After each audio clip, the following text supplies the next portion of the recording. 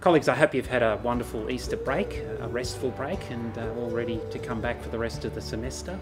I'm delighted to be here in the MacGregor Building at the School of Biomedical Sciences, uh, an area that's been recently refurbished, and uh, I've had a chance to walk around with Nick and Kay and see the most extraordinary learning and teaching spaces. Uh, such a transformation from the kinds of spaces that I learned in when I was a student.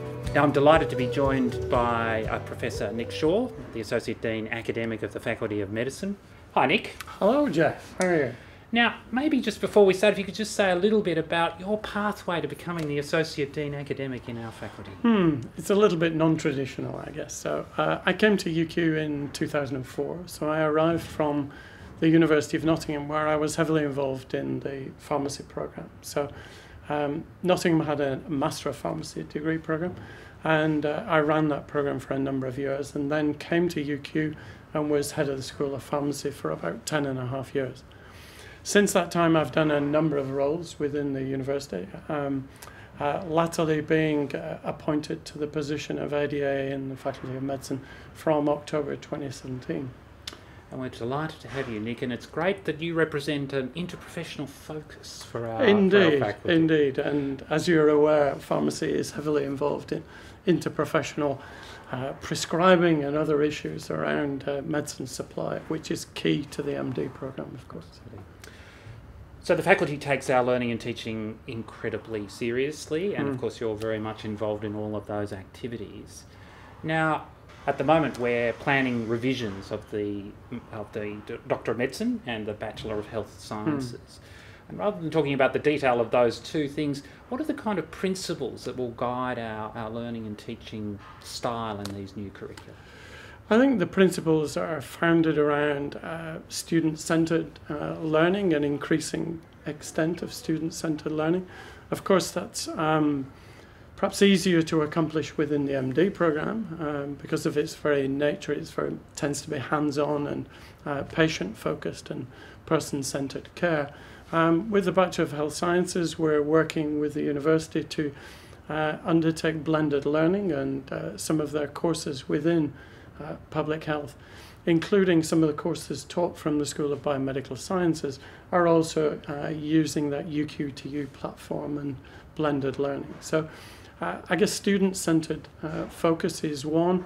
Um, also a clear, uh, a clear pathway for students to undertake um, so that students are very uh, aware of the majors that they're doing, are very aware of the pathways they need to take to the destination that they're requiring. So as we sit here in a wonderful renovated space, our minds turns to the facilitation, the enablers of mm. learning. The digital space is changing the way people learn. How are we going to implement that in our new programs? So I think we have great facilities here at UQ for the delivery of uh, e-learning. Uh, we have good platforms and UQ is developing um, a curriculum management system which will take those aspects of digital learning and curriculum organization into account. So I, I think that digital learning platform will become increasingly important for our students. But I guess we also need to be very careful that we don't ignore the the person uh, within that, the, the excellent teachers who we have at UQ and who we've received teaching and learning awards from within the faculty. Well, I think that's a good segue, Nick, to how are we supporting, acknowledging, rewarding our teachers who are absolutely critical to the business? So we have a variety of mechanisms. As I've mentioned, the uh, Teaching and Learning Awards are one. So UQ has its own Teaching and Learning Awards in a variety of categories, including an award for teaching excellence. And the faculty ha has its own Teaching and Learning Awards, and they're also mimic the UQ awards in the categories in which they're um, provided. But we also have specific awards for academic title holders, for clinicians, for researchers, and for tutors. So they're specific to the faculty.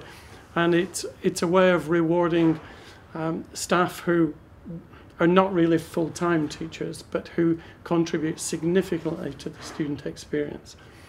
We also have a, a, variety of mechanisms by which we can support the education of our, um, our teachers within the faculty or educators within the faculty. Um, so things like uh, peer observation, where we've developed a number of templates for peer observation uh, to be encompassed within the faculty and to facilitate personal reflection of uh, staff when they've undertaken a teaching event. Those have been promulgated through the university and are now being used by the Institute for Teaching and Learning Innovation.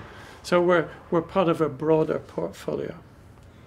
The last thing I wanted to mention was a teaching innovation grant, which we got um, as part of a, joint bid across uh, the Faculty of Medicine, Faculty of Health and Behavioural Sciences, and the Faculty of Science.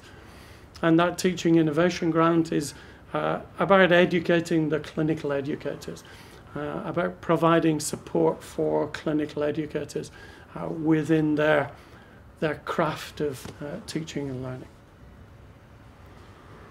Now, the final thing I want to ask you about is, is student well-being. I think mm. we understand um, the, the, global concerns about the well-being of our students. How are we supporting students within the faculty? It's a very good question, and we're seeing an increasing uh, extent of issues of mental health within our student cohort, and we have uh, within the uh, within the faculty produced a range of uh, support mechanisms. So we have um, student support uh, within the faculty office. We have uh, medical student support pathways, and there are student support pathways here at St Lucia and uh, at Herston. It's important that we also look at uh, the mechanisms by which we can deliver support to uh, via the students themselves. So we have peer supported uh, tutorials and uh, I guess we've instituted things like um, the Equity, Diversity and Inclusion Committee uh, to provide students with an opportunity to look at how we can best serve those uh, diverse communities within our faculty as well. And that diversity in the student cohort is, is, is, is critical to enhancing the experience, I believe. Very much so, yes, mm. absolutely. So we, we should reflect um, our I guess our our student cohort, but more importantly, we should also recognise the the population from which our student uh, cohort is drawn, and we should reflect that population as well, and seek to enhance and embrace that diversity which our student cohort represents. So Nick, thank you for joining me today um, in this oh, wonderful learning and teaching It's a space. fantastic setting. Thank you for your working and just acknowledging the great importance that learning and teaching plays in the life of the faculty. Thanks. Thank you.